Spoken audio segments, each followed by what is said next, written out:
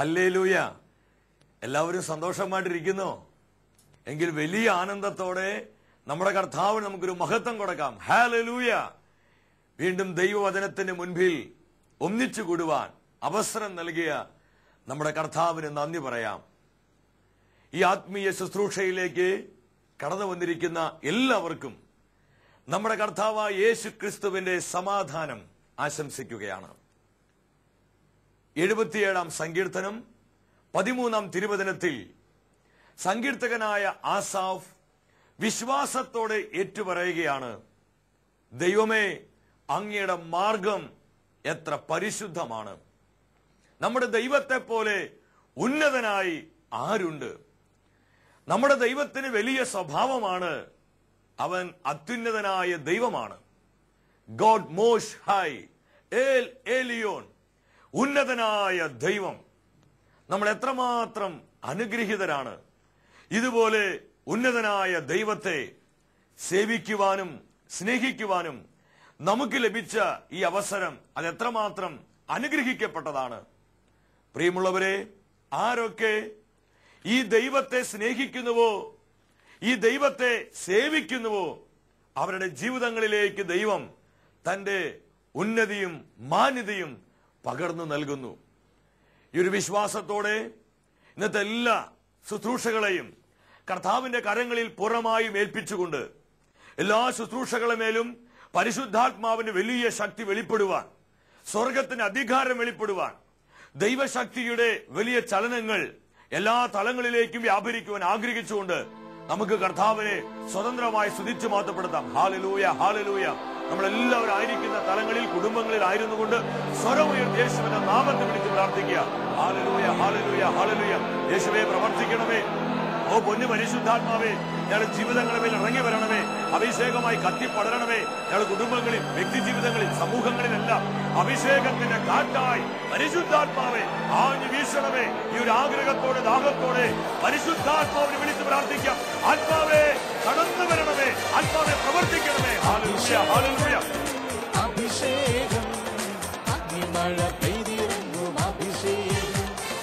അഭിഷേകം അഭിഷേകം അഗ്നിമഴ പെയ്തിറങ്ങും അഭിഷേകം. അഭിഷേകത്തിന്റെ കൊടുങ്കാറ്റായി പരിശുദ്ധാത്മാവെ ആഞ്ഞടിക്കണമേ ഹല്ലേലൂയ ഹാലലൂയ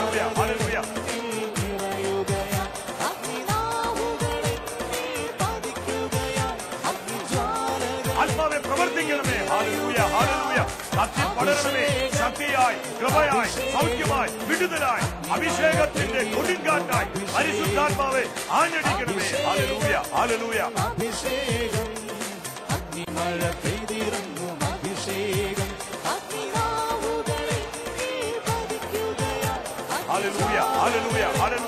സമൂഹത്തെ ഉണർത്തണമേ കുടുംബത്തെ നവീകരിക്കണമേ വ്യക്തിജീവിതം അഭിഷേകം ചെയ്യണമേ.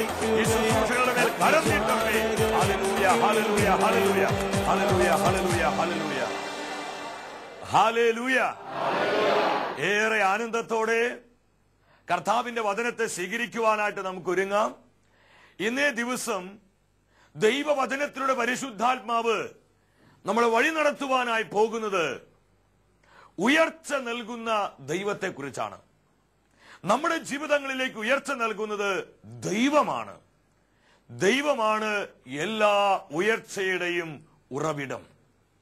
സാമുവേൽ പ്രവാചകന്റെ ഒന്നാം പുസ്തകം രണ്ടാം അധ്യായം മുപ്പതാം തിരുവചനത്തിൽ നമുക്ക് കാണുവാൻ കഴിയും. അവിടെ ദൈവം പറയാണ് എന്നെ ആദരിക്കുന്നവനെ ഞാനും ആദരിക്കും. ആരൊക്കെ ദൈവത്തെ മാനിക്കുന്നുവോ ആദരിക്കുന്നുവോ അവരുടെ ജീവിതങ്ങളെ ദൈവവും മാനിക്കുന്നു. ദൈവം അവരുടെ ജീവിതങ്ങളെ ആദരിച്ചുയർത്തുന്നു. ദൈവത്തെ മാനിക്കുന്നവരെ ദൈവം മാനിക്കും. ഇത് ദൈവത്തിന്റെ സ്വഭാവമാണ്. ഈ ആധുനിക കാലഘട്ടത്തിൽ ഏറ്റവും വലിയൊരു പ്രശ്നമാണ് ഇന്ന് പ്രശസ്തിക്ക് വേണ്ടി പെരുമയ്ക്ക് വേണ്ടി പേരിന് വേണ്ടി എന്ത് ചെയ്യാനും യാതൊരു മടിയുമില്ലാത്ത ഒരു കാലഘട്ടത്തിലാണ് നമ്മൾ എത്തി നിൽക്കുന്നത്. പഠന മേഖലയിലാണെങ്കിലും അവിടെ എന്തൊരു മത്സരമാണ്. ഉയർച്ച കിട്ടാൻ പെരുമ കിട്ടാൻ തൊഴിൽ മേഖലകളിൽ ബിസിനസ് സംരംഭങ്ങളിൽ രാഷ്ട്രീയ മണ്ഡലത്തിലാണെങ്കിൽ പറയും വേണ്ട. എന്തിന് ആത്മീയ ശുശ്രൂഷ വേദികളിൽ വരെ നമുക്കിത് കാണാൻ പറ്റും? അതിനുവേണ്ടി ആരെ ഇടിച്ചു താഴ്ത്താനും ആരെ തകർക്കാനും ആരുടെ സൽപ്പേരിനെ കളങ്കം വരുത്താനും മടിയില്ല. എനിക്ക് വലുതാവണം. എനിക്ക് പേര് കിട്ടണം. എനിക്ക് പ്രശസ്തി ഉണ്ടാവണം. എനിക്ക് കയ്യടി കിട്ടണം. അതിനുവേണ്ടി എന്ത് കുറുക്കുവഴികളും എന്ത് തന്ത്രങ്ങളും എന്ത് പ്രവൃത്തിയും ചെയ്യാൻ ഞാൻ റെഡിയാ ഈ ഒരു അവസ്ഥയിൽ ഇന്നത്തെ ആധുനിക മനുഷ്യൻ അധപതിച്ചുകൊണ്ടിരിക്കുകയാണ് ഇവിടെയാണ് പരിശുദ്ധാത്മാവ് ദൈവവചനത്തിലൂടെ നമ്മെ പഠിപ്പിക്കുന്ന ഈ ദൈവികാലോചനയ്ക്കുള്ള പ്രസക്തി വെളിപ്പെടുന്നത്. ഹാലലൂയ നമ്മൾ മനസ്സിലാക്കുക ദൈവമക്കളെ ദൈവത്തെ മാനിക്കുന്നവരെ ദൈവം ഉയർത്തും. നമ്മൾ സ്വയം നമ്മുടെ പ്രശസ്തിക്ക് വേണ്ടി നിലകൊള്ളുന്നതും ദൈവം നമ്മൾ ഉയർത്തുന്നതും തമ്മിൽ വലിയ വ്യത്യാസമുണ്ട്. നാം തിരുവചനത്തിലൂടെ ഈ ഭാഗങ്ങളിലേക്ക് ഒന്ന് കടക്കാൻ ഒരുങ്ങുകയാ. പ്രാർത്ഥനാപുറം നിങ്ങൾ ഇരിക്കണം. ഈ ഒരു അഭിഷേകം നമ്മൾ പ്രാപിക്കണം. പരിശുദ്ധാത്മാവ് ഇന്നേ ദിവസം പ്രധാനമായും രണ്ട് വ്യക്തിത്വങ്ങളെ നമ്മുടെ മുൻപിൽ പരിചയപ്പെടുത്തുകയാണ്. ഞാനും നിങ്ങളും ഇതിൽ ആരുടെ പക്ഷത്താണ് ഏത് ഗ്രൂപ്പിലാണെന്ന് ദൈവവചനത്തിന് മുൻപിലിരുന്ന് സ്വയം പരിശോധിക്കുക. ഒന്നാമത്തെ വ്യക്തിയാണ് അബ്രഹാം. രണ്ടാമത്തെ വ്യക്തിയാണ് നിമ്മരോദ്. ആരാണ് ഈ അബ്രഹാം? നമുക്കറിയാം ഇന്നേക്ക നാലായിരം വർഷങ്ങൾക്ക് മുൻപ് നമ്മുടെ പൂർവപിതാവായ അബ്രഹാമിനെ ദൈവം വിളിച്ചു. ഉൽപ്പത്തിയുടെ പുസ്തകം പന്ത്രണ്ടാം അധ്യായം രണ്ടാം തിരുവചനത്തിൽ. അവിടെ ദൈവത്തിന്റെ സ്വരം കേട്ട് ആ ദൈവിക സ്വരത്തെ അബ്രഹാം അനുസരിക്കാൻ തയ്യാറായപ്പോൾ സർവജ്ഞാനിയായ ദൈവം അബ്രഹാമിനെ നോക്കിക്കൊണ്ട് പറഞ്ഞു അബ്രഹാമേ ഞാൻ നിന്റെ പേര് മഹത്തമമാക്കും. ഓ എത്രയോ അനുഗ്രഹിക്കപ്പെട്ടൊരു വാക്തത്വമാണിത്. ദൈവം അബ്രഹാമിനെ നോക്കി പറയും അബ്രഹാമേ ഞാൻ നിന്റെ പേര് വലുതാക്കും. എന്താ കാരണം? നീ എന്നെ അനുസരിച്ചു. നീ എന്റെ വിളി കേട്ടു. നീ എന്നോട് ചേർന്ന് നിന്നു. അതുകൊണ്ട് ഞാൻ നിന്റെ പേര് വലുതാക്കും. എന്നാൽ നമ്മൾ നിമരോദിനെ നോക്കുക. ആരാണ് നിമരോദ്? പലപ്പോഴും ചിലപ്പോൾ നമ്മളിൽ അധികം പേര് ഈ പേര് കേട്ട് കാണാൻ വഴിയില്ല. പക്ഷെ നിമരോദ് ആളത്ര നിസ്സാരക്കാരനൊന്നല്ല.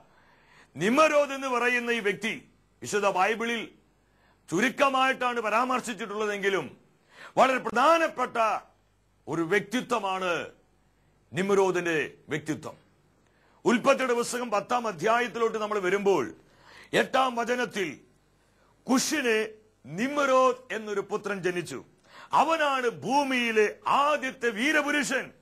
വിശുദ്ധ ബൈബിൾ നിമരോദിനെ കുറിച്ച് സാക്ഷ്യപ്പെടുത്തുന്ന അവൻ വീരപുരുഷനാണെന്ന. എന്താ നിമരോദിന്റെ മറ്റൊരു പ്രത്യേകത? പത്തും പതിനൊന്നും വാക്യങ്ങൾ.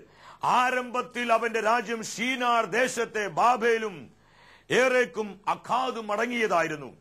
അവൻ അവിടെ നിന്ന് അഷൂറിലേക്ക് കടന്ന് നിനേവെ റഹബോത്ത് പട്ടണം കാല എന്നിവ പണിതു. അപ്പൊ നിനേവെ പട്ടണം റഹബോത്ത് കാല എന്ന് തുടങ്ങുന്ന പട്ടണങ്ങളെല്ലാം പണി കഴിപ്പിച്ച ഒരു വലിയ എഞ്ചിനീയർ ആയിരുന്നു നിമറോദ്.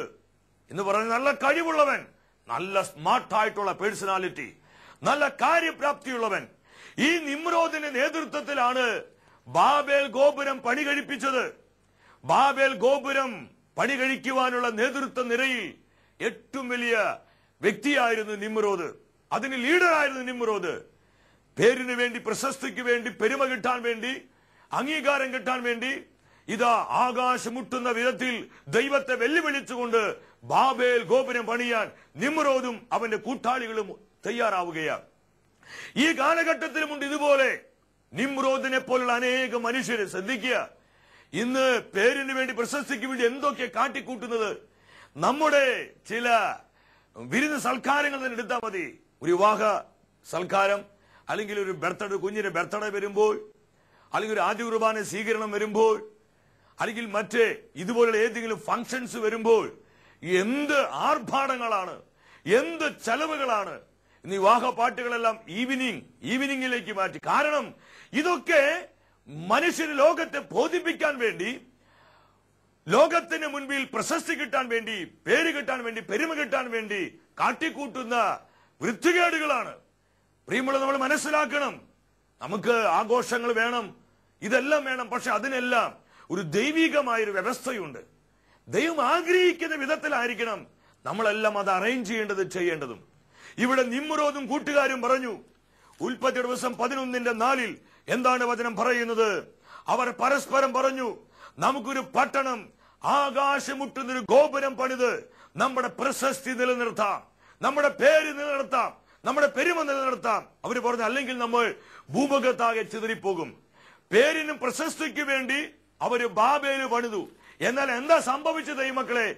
സ്വന്തം പേരിന് വേണ്ടി സ്വയം പെരുമ കിട്ടാൻ വേണ്ടി സ്വന്തം പ്രശസ്തിക്ക് വേണ്ടി ആരൊക്കെ അധ്വാനിക്കുന്നുണ്ടോ ആരൊക്കെ പരിശ്രമിക്കുന്നുണ്ടോ അപ്രകാരമുള്ള ജീവിതങ്ങൾക്ക് പരിശുദ്ധാത്മാവ് നൽകുന്ന മുന്നറിയിപ്പാണിത്. എന്താണ് അവൻ നൽകുന്ന മുന്നറിയിപ്പ്? പതിനൊന്നാം അധ്യായം അവിടെ ഒൻപതാം വചനത്തിലോട്ട് വരുമ്പോൾ നമുക്ക് കാണാൻ പറ്റും. അവിടെ ഭാഷ ചിതറിപ്പോയി. മാത്രമല്ല അവരാകെ നാടാകെ ചിതറിക്കപ്പെട്ടു. അവരെല്ലാം ചിതറിക്കപ്പെട്ടു.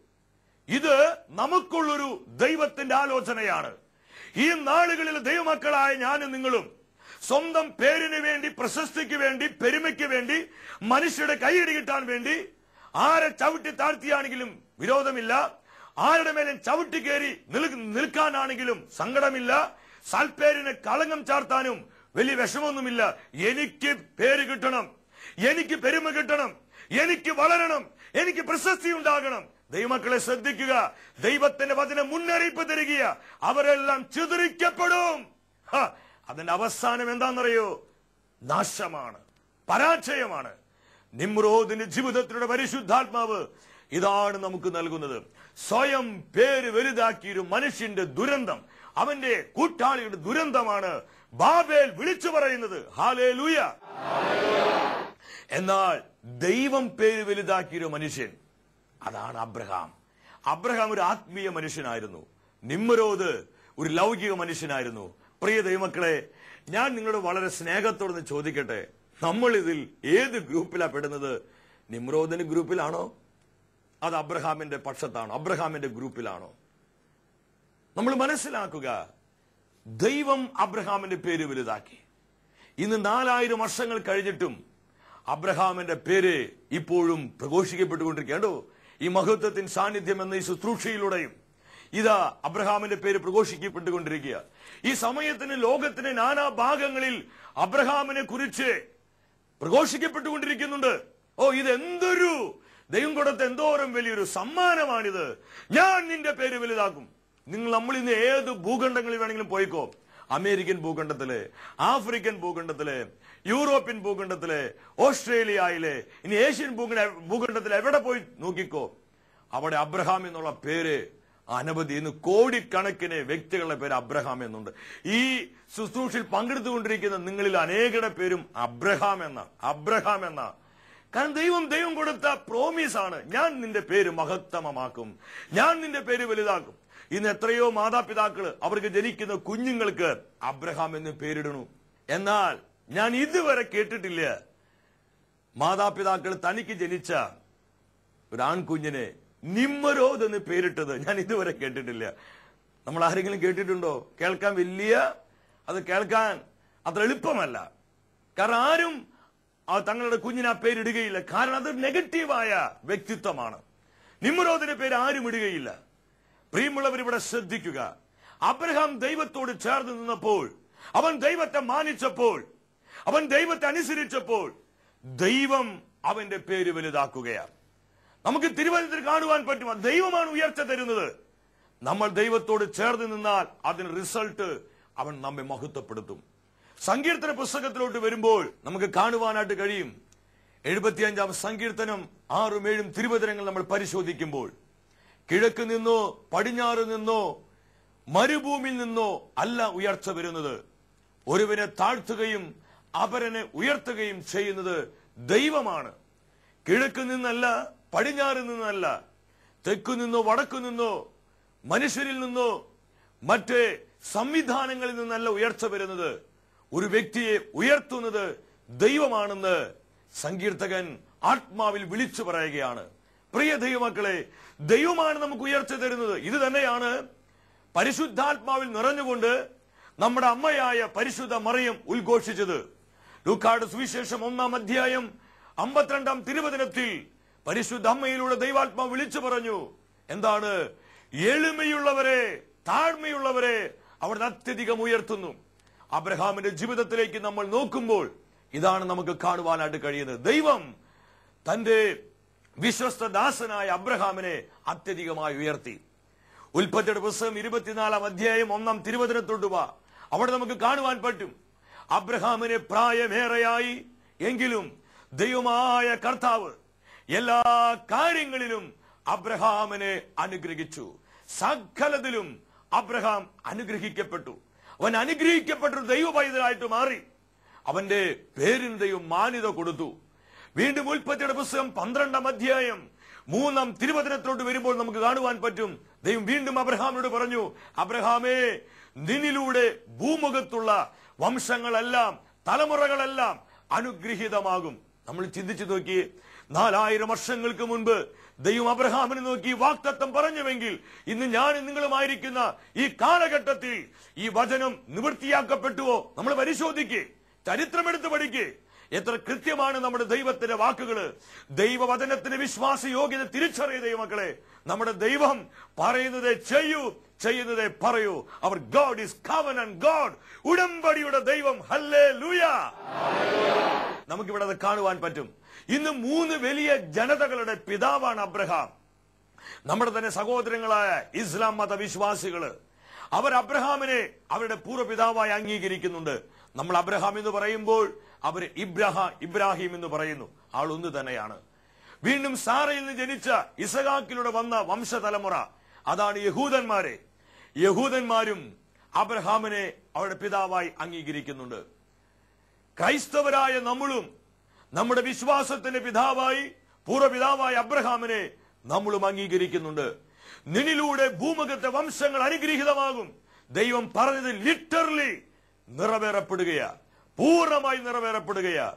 അതെ ദൈവമക്കളെ ദൈവം ഒരു വ്യക്തിയെ ഉയർത്തുമ്പോൾ ദൈവം ഒരു വ്യക്തിക്ക് മഹത്വം കൊടുക്കുമ്പോൾ ദൈവം ഒരു വ്യക്തിയുടെ മാന്യത വർദ്ധിപ്പിക്കുമ്പോൾ അത് തടയാനോ അതില്ലായ്മ ചെയ്യാനോ അതിനെ പിഴുതു കളയുവാനോ ഈ ലോകത്തിലെ ഒരു വ്യക്തികൾക്കും ഒരു പ്രസ്ഥാനങ്ങൾക്കും ഒരു ശക്തിക്കും ഒരു തിരുമടാധിപത്യങ്ങൾക്കും സാധ്യമല്ല. ദൈവം തന്നെ വിചാരിക്കണം. ദൈവത്തോട് ചേർന്ന് നിൽക്കുക. എന്നാൽ നിമ്രോദിനെ പോലെ ചിന്തിക്കുകയും നിമ്രോദിനെ പോലെ ആഗ്രഹിക്കുകയും ചെയ്യുന്ന ജീവിതങ്ങൾ അവർക്ക് എന്താ സംഭവിക്കുന്നത്? ദൈവത്തിന്റെ വചനം വചനത്തിൽ മുന്നറിയിപ്പ് തരുന്നുണ്ട്. പരിശുദ്ധാത്മ കൃത്യമായി വെളിപ്പെടുത്തുകയാ. അവർക്ക് എന്താ സംഭവിക്കുന്നത്? സങ്കീർത്തന പുസ്തകം നാൽപ്പത്തി ഒൻപതിലേക്ക് നമ്മൾ വരുമ്പോൾ നമുക്ക് കാണുവാൻ പറ്റും. പതിനൊന്നും പന്ത്രണ്ടും തിരുവചനങ്ങൾ. ദേശങ്ങൾ സ്വന്തമെന്ന് അവർ അവകാശപ്പെട്ടു. നിമറോ അതാ അതാ ചെയ്തത്. ബാബേൽ അത് ഞങ്ങളുടെ അവകാശമാണ്. അത് ഞങ്ങൾക്ക് സ്വന്തമാണെന്ന് അവർ അവകാശപ്പെട്ടു. എന്നാൽ അതെല്ലാം തകർന്നുപോയി. ദേശങ്ങൾ സ്വന്തമെന്ന് അവർ അവകാശപ്പെട്ടെങ്കിലും ശവകുടീരങ്ങളായിരിക്കും അവരുടെ നിത്യവസതി. തലമുറകളോളം അവരുടെ വാസസ്ഥാനം.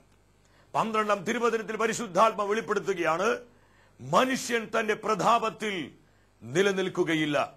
മൃഗങ്ങളെ പോലെ അവനും നശിച്ചു പോകും അവനും തകർന്നു പോകും.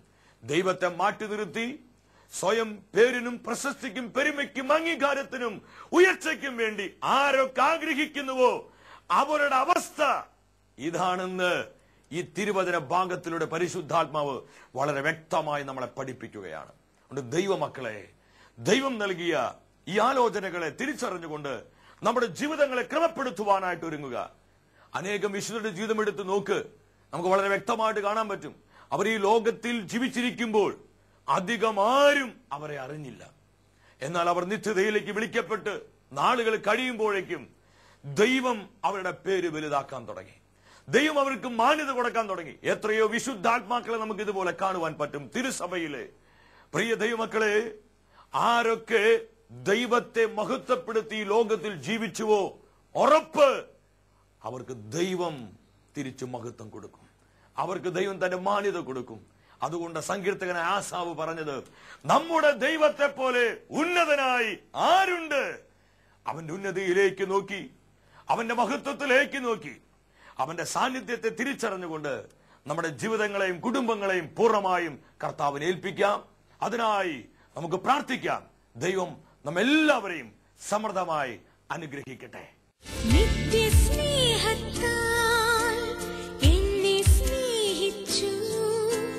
നിത്യസ്നേഹത്താൽ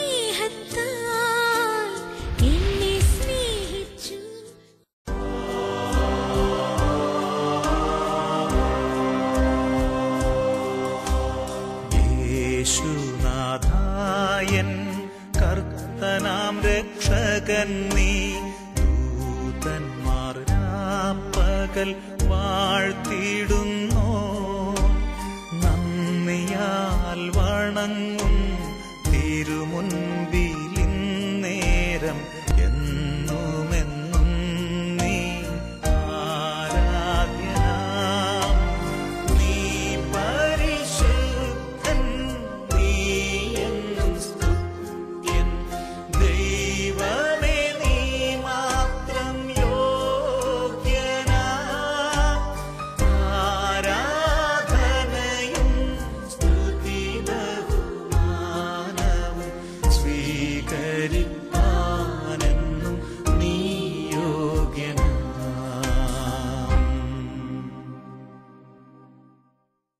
പരമപരിശുദ്ധനായ കർത്താവിന്റെ സാന്നിധ്യത്തിന്റെ മുൻപിൽ നമ്മളെല്ലാം കടന്നു വന്നിരിക്കുകയാണ്.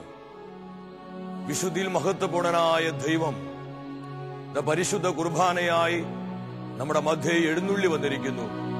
പ്രിയ ദൈവമക്കളെ കർത്താവിന്റെ സാന്നിധ്യം പൂർണമായും അനുഭവിച്ചുകൊണ്ട് ഈ ആരാധന ശുശ്രൂഷയിലൂടെ ദൈവത്തിന്റെ പരിശുദ്ധാത്മാവ് നമ്മുടെ ജീവിതങ്ങളിലേക്കും കുടുംബങ്ങളിലേക്കും എല്ലാ സാഹചര്യങ്ങളിലേക്കും പകരുന്ന അഭിഷേകത്തെ ഏറ്റുവാങ്ങി ഏറൊരുക്കമുള്ള ഹൃദയത്തോടെ നമുക്ക് പ്രാർത്ഥിച്ചുകൊണ്ടിരിക്കാം.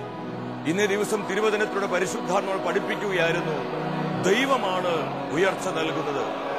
എല്ലാ ഉയർച്ചയുടെയും ഉറവിടം നമ്മുടെ ദൈവമാണ്. പ്രിയ ദൈവമക്കളെ ഇരു കരങ്ങളും ദിവ്യകാരുണ്യനാഥന്റെ മുൻപിൽ യാചനാപുറം തുറന്നു പിടിച്ച് ഏറെ ഒരുക്കമുള്ള ഹൃദയത്തോടെ പ്രാർത്ഥിക്കാം. നമ്മുടെ ജീവിതത്തിൽ സംഭവിച്ചു പോയ എല്ലാ തകർച്ചകളെയും ദുഃഖ ദുരിതങ്ങളെയും നമ്മൾ അനുഭവിക്കുന്ന സകല നൊമ്പരങ്ങളെയും മനസ്സിന് ഏറ്റ എല്ലാ മുറിവുകളെയും കർത്താവിന്റെ കരങ്ങളിൽ ഏൽപ്പിച്ച് ആ തലങ്ങളിലെല്ലാം കർത്താവിന്റെ സൗഖ്യത്തിന് അഭിഷേകം ഒഴുകപ്പെടുക അവന്റെ മുറിവേട്ട കരം വെച്ച് നമ്മുടെ ജീവിതങ്ങളിൽ ഒരു യഥാർത്ഥമായി വിടുതൽ സംഭവിക്കുവാൻ ആഗ്രഹിച്ചുകൊണ്ട് പ്രാർത്ഥിക്കാം. സകല തകർച്ചകളെയും ഉയർച്ചകളാക്കി മാറ്റുന്ന ദൈവമേ പരാജയങ്ങളെ വിജയമാക്കുന്നവരെ അസാധ്യങ്ങളെ സാധ്യമാക്കുന്നവരെ സകല ദുഃഖങ്ങളെയും ആനന്ദമാക്കുന്നവരെ. ഓ ഞങ്ങൾ അങ്ങേ ആരാധിക്കുന്നു. ഇരു കരങ്ങളും കർത്താവിന് മുൻപിലേക്ക് ഉയർത്തിപ്പിടിച്ച് നുറുങ്ങി ഹൃദയത്തോടെ പ്രാർത്ഥിക്ക്. യേശുവിനെ വിളിക്ക്.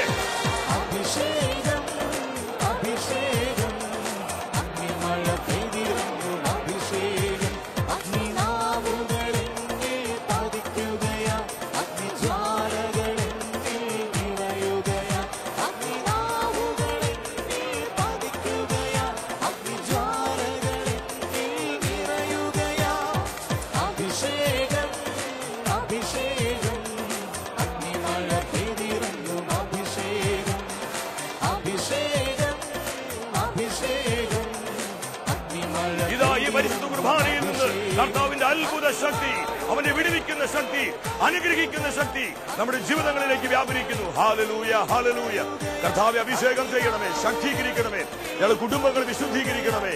ഞങ്ങളുടെ ആവശ്യങ്ങൾ അനുഗ്രഹിക്കണമേ. ഞങ്ങളുടെ സമൂഹങ്ങളെ വിശുദ്ധീകരിക്കണമേ. ആരാധന ആരാധന ആരാധന. ഹലലൂയ ഹലലൂയ ഞങ്ങളെ ശക്തീകരിച്ച് കർത്താവെ നന്ദി പറയുന്നു. ആരാധന ആരാധന ആരാധന. നന്ദി കർത്താവെ നന്ദി കർത്താവെ. നമ്മൾ ആരും തന്നെ ഇവിടെ സ്ഥിരം താമസിക്കാൻ വേണ്ടി വന്നിട്ടുള്ളവരല്ല. എന്റെയും നിങ്ങളുടെയും ഈ ഭൂമിയിലെ ജീവിതം എന്ന് പറയുന്നത് വയലിൽ